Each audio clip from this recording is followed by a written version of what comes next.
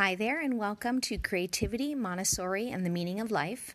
I'm your host, Robin Norgren. I'm going to start with a reading from a book called Awaken by Priscilla Shirer. Let's start with Luke 2 25. There was a man in Jerusalem whose name was Simeon, and this man was righteous and devout, waiting for the consolation of Israel, and the Holy Spirit was upon him. A shooting star I'm almost certain that's what it is. I casually glanced upward into the evening sky while walking groceries into the house from the car. And there it was the tail end of a shooting star jetting through the heavens. Or was it? I couldn't tell for sure. It all happened so fast. You know how it is. One of those moments when you wish you could somehow rewind the tape go back a minute, call the kids outside to come watch with you, and then be standing there, head upturned, eyes peeled upon the spot? If you knew it was coming, if you knew what to be watching for, you could catch the whole thing from beginning to end. God is moving and working all around us.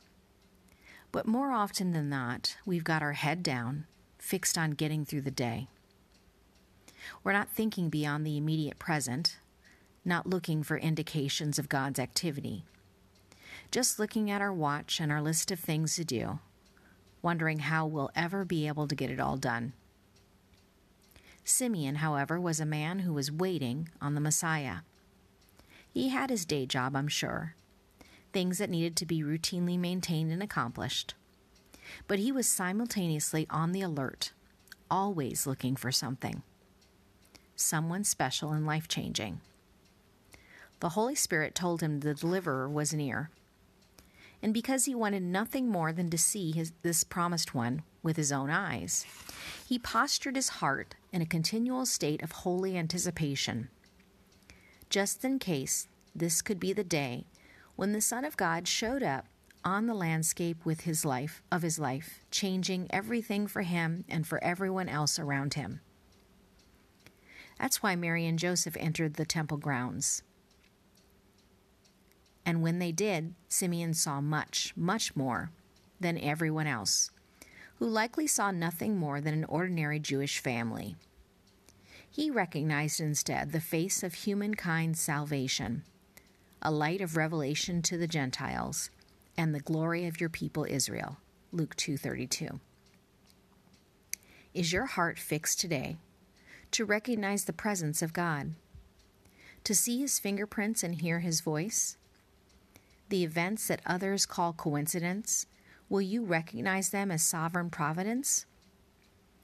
Ask the Lord to sharpen your spiritual senses so that you can catch a glimpse of his glory. Focus your expectation. Lean forward or on tiptoe Resist the inclination to be so caught up in the temporal that you miss seeing the eternal.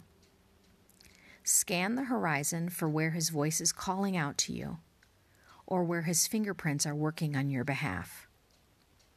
Be alert. Be present. Be fully engaged in the day stretched out before you. He'll be there, waiting to be seen by anyone watching and waiting.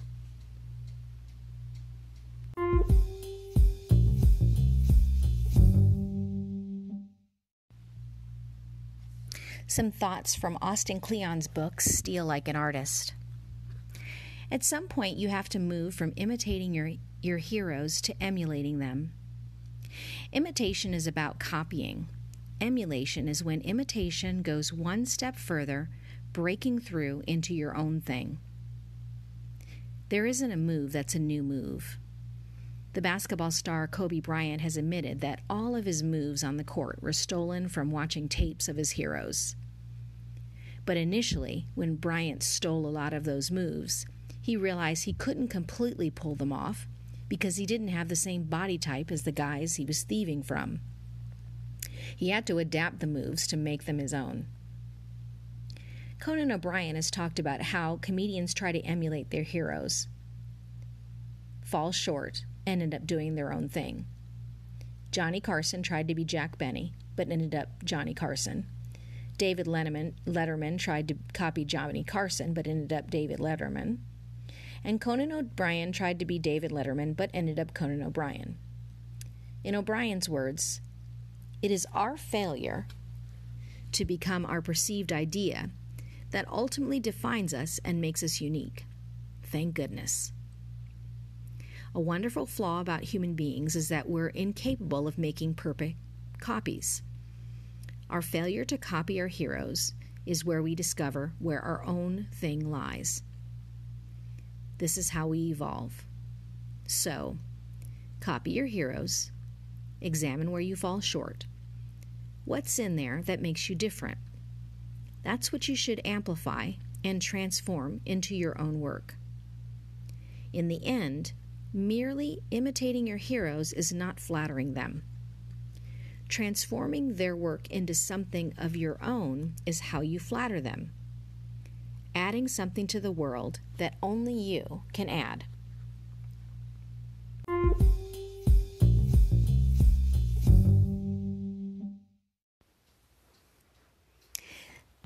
So, um, this ad is sponsored by Anchor. If you haven't heard about Anchor, it's the easiest way to make a podcast. Let me explain. It's free. There's creation tools that allow you to record and edit your podcast right from your phone or computer. Anchor will distribute your podcast for you so it can be heard on Spotify, Apple Podcast, and many more. You can make money from your podcast with no minimum listenership. It's everything you need to make a podcast in one place. Download the free Anchor app or go to anchor.fm to get started.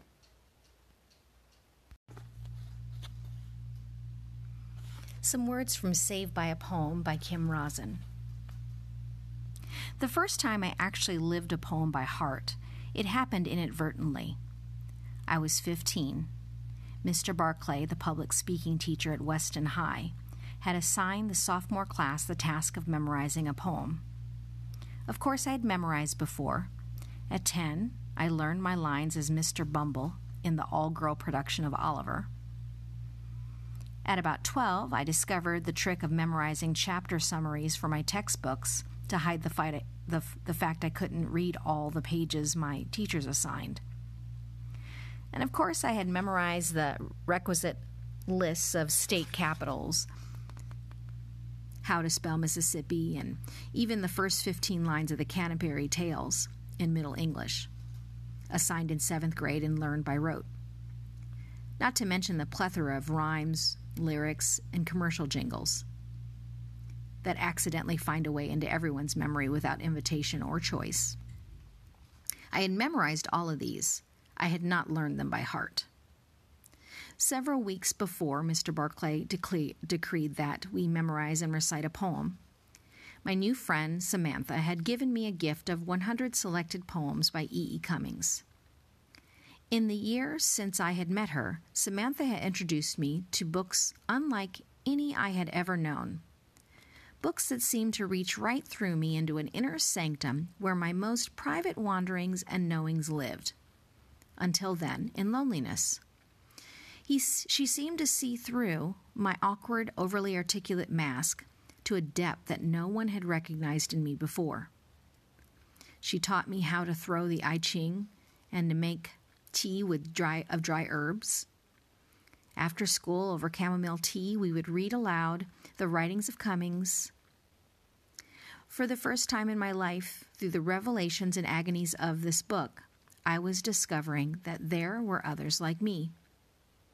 So I chose my favorite Cummings poem for the assignment, Somewhere I Have Never Traveled Gladly Beyond. This poem had become a kind of sanctuary for me ever since I had found it. Intending to learn the words by heart, I curled up in the window seat of my bedroom and opened the book to the dog eared page where the words glowed with the yellow of my highlighter. The first few lines were relatively easy. I learned them like I learned the minuet in G for my piano lesson, drilling myself over and over in the places where I made mistakes, until my fingers knew the notes or someone screamed from elsewhere in the house, Stop that, you're going to drive me crazy. It was the same with learning words. When I th- came to something I couldn't remember, I repeated it in a sing song way until it virtually lost meaning and was inscribed as a pattern of sound in my memory. It seemed a bit sad that a poem that brought me so much joy was now being stripped of meaning in the name of memorization. But I accepted that as the price of the task. I settled in for a long and boring evening. Then I came to these lines You open always, petal by petal, myself as spring opens. Her first rose. Suddenly, I could not go any further. There was something so naked about the statement that it scared me. I couldn't imagine ever saying it in front of other people. What had I been thinking when I chose this poem? Even to imagine speaking it out loud caused a collision inside me between the self conscious girl who hid behind her horn rimmed glasses and another self who had magnetized by, who was magnetized by the desire and tenderness in these words. Even at 15, I knew I was imprisoned by its inhibitions. While my friends screamed for the Beatles and learned to slow dance with the boys, I hid in the bathroom. While they went shopping for tight jeans and experimented with mascara, I made infirmaries in the garage for hurt pigeons and squirrels. In those days, it seemed there was no bridge between my inner life and the world around me. I sensed there was another language, one that could tell the surgings inside me, but I did not know how to speak it. What I did know was that the hungers of my heart were crushed behind a mask of distance, intelligence, and control. I desperately wanted out. I tasted the words tentatively. The sensuality in them frightened me, the closeness, the simple, undisguised longing. And in that moment, I recognized that I had to make a choice between my habitual control and the truth of my inner being. The price of the authenticity I long for was my willingness to take this plunge.